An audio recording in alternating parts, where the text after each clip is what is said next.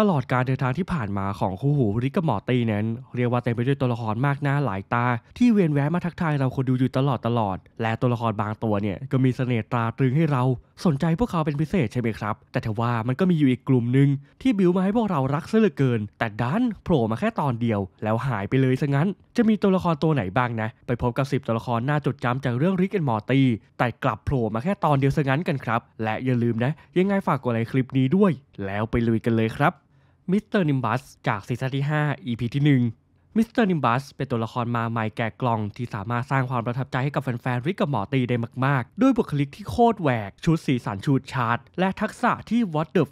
เช่น ควบคุมตำรวจงี้ คุยกับปลางี้ แถมยังมีคาแรคเตอร์ไปตรงกับ Namor ของมาเวลและความแมนของ DC อีกต่างหาก แต่ทว่านิสัยนั้นกลับตรงกันข้ามสุดๆ เพราะมิสเตอร์นิมบัสเนี่ยเป็นพวกชอบ threesomeหรือ เอ่อ swinging นั่นแหละครับแถมยังเป็นพวกไบเซ็กชวลอีกด้วย แต่ถึงเขาจะมีลักษณะนิสัยที่แปลกๆก็เถอะนะ ในตอนจบของตอนเปิดซีซั่นที่ 5 มิสเตอร์นิมบัสคนนี้ก็ได้พิสูจน์แล้วว่าเขาเป็นมิตรแท้ที่ดี โดยการไปช่วยเหลือริกกับมอร์ตี้และเจสสิก้าจากพวกมิตินาร์เนีย จนรอดออกมาได้แบบหวุดหวิดมิสเตอร์นิมบัส เรียกว่ามีความแตกต่างกับริกอย่างสิ้นเชิง และกลุ่มอะไรบางอย่างเอาไว้ไม่น้อยเลยแหละครับยิ่งบวกกับเคยเป็นศัตรูมาก่อนด้วยแล้วเนี่ย ยิ่งทำให้ประวัติที่แท้จริงของเขาน่าสนใจมากขึ้นไปอีก รวมถึงปูมหลังของทั้งคู่ ที่ก็ยังคงเป็นความลับอยู่ เพราะมิสเตอร์นิมบัสดันรู้จักกับไดแอนซานเชสภรรยาของริกซะงั้น ตรงส่วนเนี้ยคิดว่าจะน่าเสียดายไปหน่อยนะครับ ถ้าเขาจะตัดบทมิสเตอร์นิมบัสออกไปดื้อๆแต่ยังไงเราเชื่อว่าเขาคนนี้จะต้องกลับมาในซีซั่นที่หกอย่างแน่นอน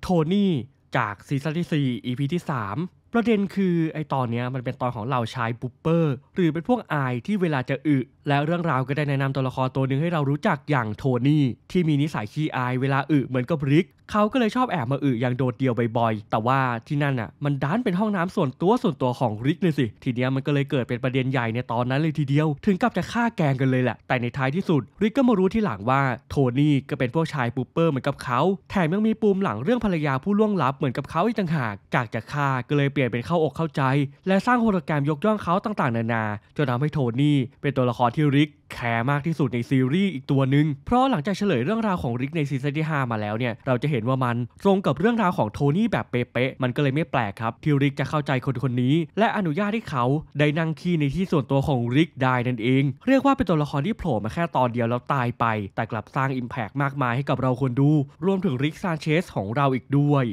ซูเปอร์โนวาจากซีซั่นที่ 3 EP ที่ 4 ซูเปอร์โนวาหนึ่งในสมาชิกผู้ทรงพลัง จากทีมซูเปอร์ฮีโร่ระดับจักรวาล อย่าง Vindicators ซึ่งพวกนี้จะคอยปกป้องจักรวาลจากพยันตราย แต่แม้ว่าพวก Vindicator ผู้ทรงพลัง จะต่อสู้เพื่อกอบกู้กาแล็กซี่แค่ไหนก็เถอะ แต่ริกของเราก็ยังไม่พอใจพวกเขา และมองว่าวิธีการของพวกนั้นเนี่ยยังเป็นอะไรที่งี่เง่าอยู่ดี โดยซูเปอร์โนวาสร้างชื่อเสียงให้กับตัวเองในฐานะตัวละคร ที่ได้รับการพัฒนามาอย่างดีตลอดทั้งตอนจนเราได้เห็นการเปลี่ยนแปลงในความคิดของเธอมากมายเพราะแม้ว่าเธอและทีม Vindicator จะเป็นถึงฮีโร่แห่งกาแล็กซี่แต่ลึกๆแล้ว พวกเขากลับมีข้อบกพร่องในการใช้ชีวิตอย่างมาก ทั้งในแง่ของครอบครัว เรื่องชู้สาว และการควบคุมอารมณ์ ซึ่งแพ้พ่ายให้กับริกภาพตัดแบบเต็มๆ ก่อนที่เรื่องราวจะจบลงด้วยความแค้นฝังหุ่น และกระจายกันไป เหมือนไม่มีอะไรเกิดขึ้นซะงั้นทำให้พวกเราคนดูเนี่ย เสียดายพลังสุด OP ของซูเปอร์โนวาจัดๆนี่ไม่อยากจะคิดเลยว่าถ้าเธอกลับมานะด้วยพลังระดับ cosmic แบบนั้น มันจะต้องเป็นอะไรที่สนุกชัวร์ๆเจ้าตด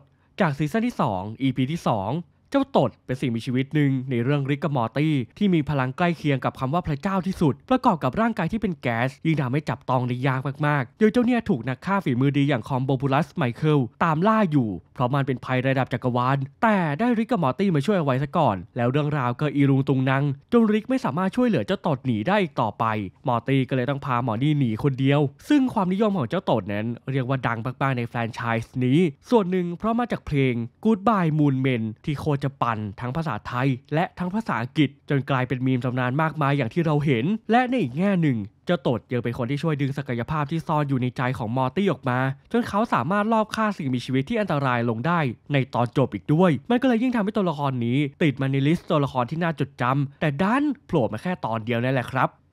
The Devil จากซีซั่นที่ 1 EP ที่ 9 ลูเซียสนีดฟูลหรือฉายาปีศาจจอมหลอกลวง ที่มีพลังคล้ายคลึงกับเมมฟิสโตผู้กะล่อน ที่ชอบหลอกคนอื่นด้วยสิ่งของที่พวกเขาต้องการ แต่กลับต้องแลกมาด้วยสิ่งที่พวกเขารักที่สุด โดยเจ้าปีศาจตนนี้ มันจำแลงกายไปเป็นชายที่ชื่อลูเซียสที่มีบุคลิกเป็นสุภาพบุรุษ แต่กลับมีท่าทางที่ลึกลับแปลกประหลาด ซึ่งเขาเปิดร้านขายของโบราณที่ชื่อ Needful Things ที่เต็มไปด้วยของวินเทจต้องคำสาปมากมาย แถมครั้งหนึ่งเขายังเคยจ้างซัมเมอร์ให้มาช่วยทำงานในร้านอีกด้วย เจ้าปีศาจเป็นตัวละครที่โผล่มาแค่ตอนเดียว แต่สร้างความน่าจดจำเอาไว้ไม่น้อยเลยแหละครับ ด้วยพลังที่สร้างสรรค์ บวกกับบุคลิก และท่าทางที่โคตรเฟี้ยว เลยทำให้ตัวละครตัวนี้มีเสน่ห์มากๆในแง่ของ character ไม่อยากจะคิดเลยครับ ว่าถ้าหมอเนี่ยย้ายมาอยู่ฝั่งคนดีแล้วก็มันจะน่าสนใจขนาดไหนกันเนอะแต่ก็ตามนั้นแหละครับ ผ่านมาจะ 5 ซีซั่นแล้วก็ยังไม่มีวี่แววของชายผู้นี้ แต่อย่างใด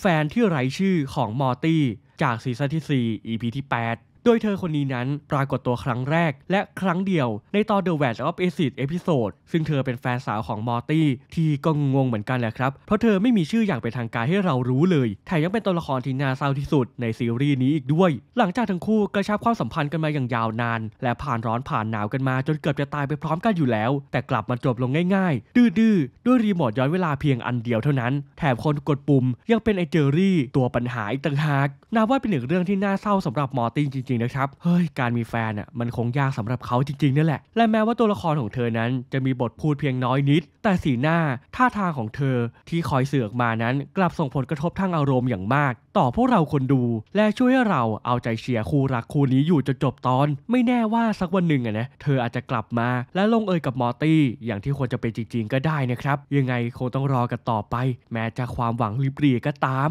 แพลเนติน่าจากซีซั่นที่ 5 EP ที่ 3 และก็มาถึงว่าที่แฟนของมอร์ตี้คนที่ก็จบลงแบบไม่สวยเหมือนกัน เธอคือแพลเนติน่าซูเปอร์ฮีโร่พลังธาตุสุดแข็งแกร่ง ที่ล้อมาจากการ์ตูนเรื่องกัปตันแพลเน็ตนั่นแหละครับ โดยในตอนแรกเธอก็ยังคงเป็นคนน่ารักอยู่หรอก แต่พอผ่านไปเรื่อยๆ เรื่องก็เริ่มเผยให้เห็นว่าเธอ ก็มีมุมที่แย่ๆเหมือนกัน ถึงขนาดฆ่าล้างมนุษย์เพียงเพราะเป็นภัยต่อธรรมชาติที่เธอรัก แต่ถึงอย่างนั้นก็เถอะนะครับ แฟนๆริกกับมอร์ตี้กลับชอบตัวละครนี้อย่างบอกไม่ถูก เพราะกลุ่มคนบางคนที่ทำลายสิ่งแวดล้อมเนี่ยมันก็สมควรโดนแบบนั้นจริงๆแล้วนั่นแหละแถมเคมีของเธอกับมอร์ตี้ยังเข้ากันดี จนเราแอบเชียร์ให้จิ้นกันไปยาวๆอีกด้วย แม้สุดท้าย รักจะจบลงแบบไม่สวย แต่ก็ไม่ใช่จะหมดหวังซะทีเดียวนะครับ เพราะแพลเนติน่าก็แค่บินจากไปเท่านั้น เป็นการจบแบบปลายเปิด ที่พวกเรารอรู้เหลือเกินว่า ทีมผู้สร้างเขาจะตัวละครตัวนี้กลับมาอีกหรือเปล่า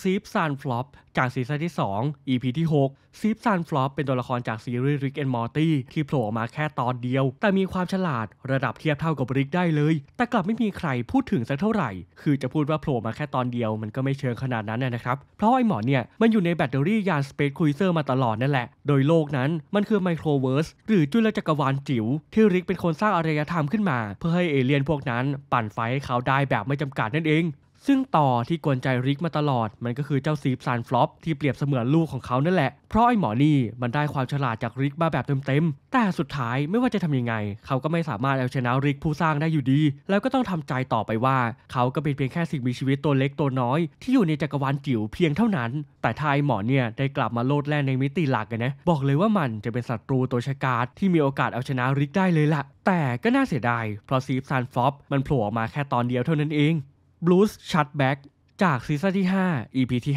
5 บรูซชัตแบ็กเป็นหนึ่งในตัวละครใหม่จากซีซั่นที่ 5 ที่น่าจดจำไม่แพ้ตัวละครหลักเลยล่ะครับบรูซเป็นคนเรียบง่าย สบายสบาย